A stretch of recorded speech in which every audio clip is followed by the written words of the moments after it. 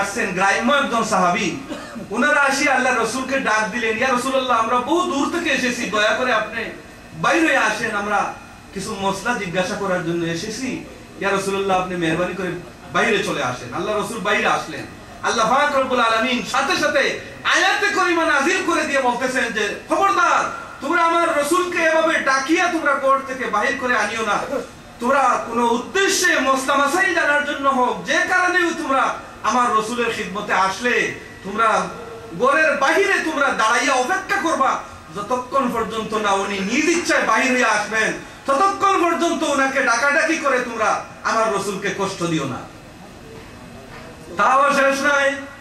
সাহাবায়ে আমরা অজান্তে তারা পরস্পর পরস্পরের সাথে কথা বলার সময় একটু উঁচু আওয়াজে তারা আলাপ আলোচনা শুরু করে দিলেন। আল্লাহ রব্বুল আলামিন জিবরাইল আলাইহিস সালাতু ওয়াস সালামকে ডেকে বলছেন, হে জিবরাইল, আমার দোস্ত আলামিন ওনার সামনে সাহাবারা পরস্পর পরস্পরের মধ্যে উঁচু আওয়াজে যে কথা বলতেছে, তারা তো এমন কাজে লিপ্ত হয়ে গেল যে কাজের মাধ্যমে তার সমূহ আমল বরবাদ হয়ে যাবে।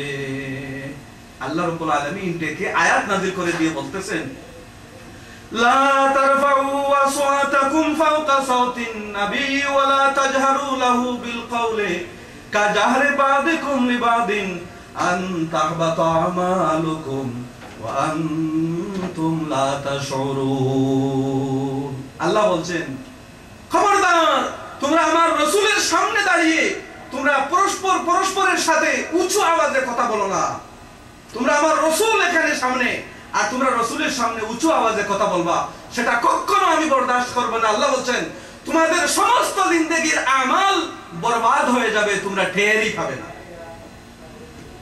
আল্লাহ আল্লাহ রাব্বুল সম্মান এভাবেই রক্ষা এই জন্য হুজুরে পাক সাল্লাল্লাহু আলাইহি সাল্লাতু দুনিয়ায় যতদিন আমাদের জন্য হায়াতে, হীন হায়াতে বাকি ছিলেন তেমনি ভাবে আল্লাহর রাসূল সাল্লাম মদিনা শরীফের জমিনে আল্লাহর রাসূল কিয়ামত পর্যন্ত উম্মতের জন্য মাগফিরাতের দোয়া করতেছেন। হাইয়ুন আল্লাহ জীবিত, হায়াতুন নবী হিসাবে আছেন বলেন আলহামদুলিল্লাহ। কিন্তু দেখবেন, একগুলো মানুষ, তারাও মুসলমান। তারা বরঞ্চ বড় উঁচা দরজার মুসলমান দাবিদার। তারা বলে, আপনি হজ গেলে আপনি হজ করে আসবেন মদিনা শরীফে গিয়ে লাভ কি? বলেন, নাউজুবিল্লাহ। তাদের ধারণা হচ্ছে আল্লাহর রসুল দুনিয়া থেকে চলে যাবার পর মরে মাটির সাথে মিশে গেছে বলে, নাউজুবিল্লাহ। এই যে আমরা আজকে বলতেছি নাউজুবিল্লাহ, কিন্তু এই নাউজুবিল্লাহ বলেই কি আমাদের দায়িত্ব শেষ? কখনো না। এই যে আকিদা এবং বিশ্বাস, কোরআন হাদিসের আলোকে আমরা যে আকিদার উপরে প্রতিষ্ঠিত আছি সেই আকীদা যাতে আমরা, আমাদের প্রজন্মকে আমরা জানিয়ে দিতে পারি, তার জন্য ব্যবস্থা আমাদেরকে রাখতে হবে। আদারওয়াইজ আজকে আমরা শুক্রিয়া জ্ঞাপন করি এই আঞ্জুমানে আল ইসলাম ইউএসএ। আজকে যদি এই ব্যবস্থা না হতো, আজকে যদি এই দ্বারা সৃষ্টি না হতো, তাহলে আমরাও এই আকিদা থেকে বঞ্চিত হয়ে যেতাম। আজকে আপনাদের সামনে দেখবেন, বিভিন্ন টিভি চ্যানেলে আপনাদেরকে পরিষ্কার ভাবে বলা হচ্ছে যে রসুল্লাহ মরে মাটির সাথে মিশে গেছেন বলেন নাউজুবিল্লাহ। আপনারা আল্লাহ রাসূল সাল্লাল্লাহু আলাইহি সাল্লামের ব্যাপারে যতগুলো আকীদা পোষণ করেন প্রত্যেকটি আকীদার বিরুদ্ধে সরাসরি তারা মত পোষণ করে আমাদের সাথে লন্ডনে। আপনারা যারা লন্ডনে গেছেন বা জানতে পারবেন সরাসরি তারা প্রশ্ন করে যে রসুল তো আমাদের মতো মানুষ। রসুল তো আরও দর্শনের মতো একজন মানুষ। রসুলের কথা এত আলোচনা করে আপনারা কেন শিরিক করতেছেন বলেন এটা তাদের স্লোগান যে রসুলের আলোচনা এত বেশি কেন করবেন অথচ আল্লাহ রব্বুল আলামিন আল্লাহ রাসূল সাল্লাল্লাহু আলাইহি সাল্লামই আমাদের ঈমান আল্লাহ রাসূল রাহমাতুল্লিল আলামিন মদিনা শরীফে অক্ষত অবস্থায় আল্লাহর রাসূল উম্মতের জন্য দোয়া মাগফিরাতের দোয়া করতেছেন। আল্লাহ রাব্বুল আলামিন কোরআনের মধ্যে এই ব্যাপারে বলেছেন যে হুজুরে পাক সাল্লাল্লাহু আলাইহি সাল্লাতু সাল্লাম উম্মতের জন্য মদিনা শরীফ বসে বসে আল্লাহর রাসূল যখন দোয়া করেন তখন আল্লাহ রাব্বুল আলামিন সেই দোয়াকে ফেরত দেন না আল্লাহ বলছেন কোরআনের মধ্যে ওয়ালাউ আন্নাহুম إذ ظلموا أنفسهم جاءوك فاستغفروا الله واستغفر لهم الرسول لوجدوا الله توابا رحيما আল্লাহ বলছেন যে হে রসুল আপনার উম্মতেরা গুনাহগার উম্মতেরা যখন আপনার সামনে এসে আল্লাহর কাছে দোয়া করবে আপনাকে সামনে নিয়ে আর আপনি যদি তাদের মগফিরতের জন্য আল্লাহর কাছে সুপারিশ করেন তাহলে অবশ্যই সেই দোয়া আমি আল্লাহ কবুল করব এই আয়াতের তফসিরের মধ্যে, তফসিরে কবি ইবনে কাসিরের মধ্যে একটি ওয়াকিয়া, লম্বা ওয়াকিয়া। সেখানে আল্লাহ রাসূল আলাইহি সাল্লামের ওফাতের কিছুদিন পরে একজন সাহাবী, গ্রাম্য সাহাবী উনি আসলেন, আসিয়া উনি কাঁদতেছেন। আর হুজুরের রোজার সামনে, রোজার মাটি বুকের মধ্যে দিয়ে চিৎকার দিয়ে কাঁদতেছেন, মাটির মধ্যে গড়াগড়ি গাই, পড়তেছেন এবং উনি আয়াত তিলাওয়াত করতেছেন, এই আয়াতটা। আয়াত পড়তেছেন।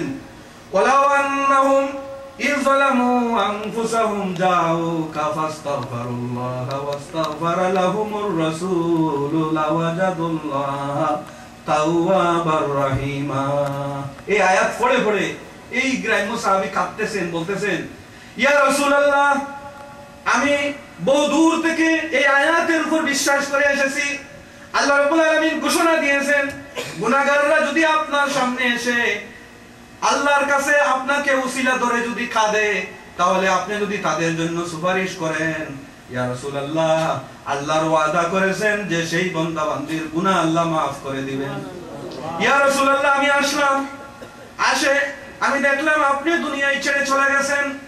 ইয়া রাসূলুল্লাহ আমি বড় বুক করে আশা নিয়ে এসেছিলাম। আয় আল্লাহ আমি এসেছি আপনার হবিবের দরবারে আল্লাহ আমাকে maaf করে দিন। এইভাবে উনি কাঁদতে কাঁদতে কাঁদতে কতক্ষণ দোয়া করে তারপরে চলে গেছেন ইত্যবসরে ওই ঘটনাটা দেখছেন আল্লাহ আরেকজন প্রিয় বান্দা আল্লাহ রসুলের আরেকজন সাহাবি যিনি ওলি আল্লাহ ছিলেন। ওই সাহাবি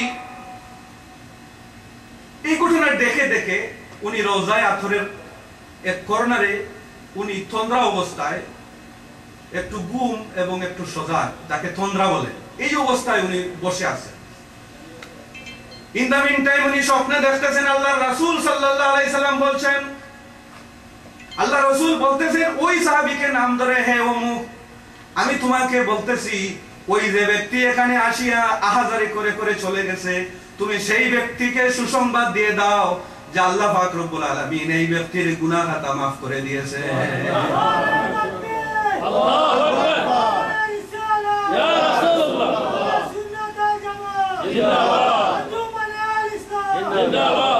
তাহলে দেখা যাচ্ছে যে আল্লাহ রাসূল সালামের ওফাতের পরেও যারা আল্লাহ হুজুরের খিদমতে গিয়ে দোয়া করে, আল্লাহর রাসূল তাদের জন্য সুপারিশ করেন এবং আল্লাহ রাব্বুল আলামিন সেই সুপারিশের বদৌলতে দোয়া কবুল করেন।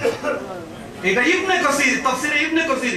যে বন্ধুরা এই আকীদা ভূষণ করেন, মদিনা শরীফ যাওয়ার প্রয়োজন নেই, তারা এই তফসির ইবনে কাসিরের হাওলা দিয়ে অন্যান্য মাসলা তারা আলোচনা করে কিন্তু এই স্থানে এসে ইবনে কসির কসির রহমতুল্লাহ আলাইহির এই আকীদা তারা বিশ্বাস করে।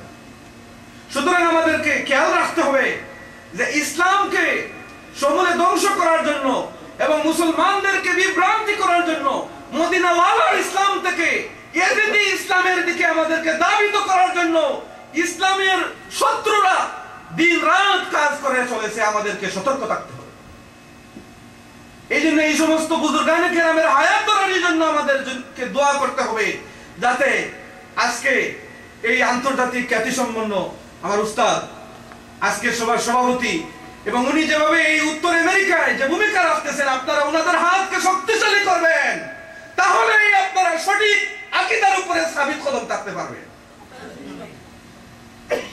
এই জন্য আজকে আমাদেরকে এই ধরনের আকিদা বিশ্বাস আমাদেরকে রাখতে হবে সাথে সাথে। এই আকিদার মানুষ সৃষ্টি করতে হবে। এই দ্বারাকে যাতে আমরা অব্যাহত রাখতে পারি কি কিয়ামত পর্যন্ত। এবং বাতিলরা যেভাবে ইসলামকে বিভ্রান্তির বেড়া জালে ইসলামকে গুলাটে করতে চায়, তাদের ব্যাপারে সতর্ক থাকতে হবে আমাদেরকে। এই কারণে আজকে আঞ্জুমানে আল ইসলার প্রয়োজন। আল ইসলার অর্থই হচ্ছে আত্মশুদ্ধি। এমন এক ছায়া, এমন একটি অর্গানাইজেশন যেখানে প্রকৃত ইসলামের আত্মশুদ্ধিওয়ালা মুসলমানরা একত্রিত হবেন বলেন আলহামদুলিল্লাহ। এই কারণে আল্লাহ রাসূল সালাম হুজুরে পাক সালাম আমাদেরকে যে দায়িত্ব দিয়েছেন যে আমরা কোন ইসলাম সঠিক এবং বেদাল ইসলাম তাহলে আমরা দেখতে পাচ্ছি আল্লাহ রসুলের সময় থেকে শুরু হয়ে গেছে। সাহাবাই কেরামদের সময় থেকে শুরু হয়ে গেছে। এবং এরপরে এর ধারাবাহিকতা কেমন পর্যন্ত থাকবে? একদল মানুষ মদিনাওয়ালার ইসলাম নিয়ে তারা কম সংখ্যক হতে পারে, তাদের কার্যক্রম বা তাদের দলে মানুষ কম হতে পারে, কিন্তু কখনো আপনারা নিরাশ হবেন না, কখনো আপনারা এই সঠিক ইসলাম থেকে পিছপা হবেন না। যদিও মানুষ কম হয়, তাহলে এই আরেকটা সুসংবাদ আপনারা নেন। আল্লাহ রসুল বলছেন, বাদাল ইসলাম ও গরিবান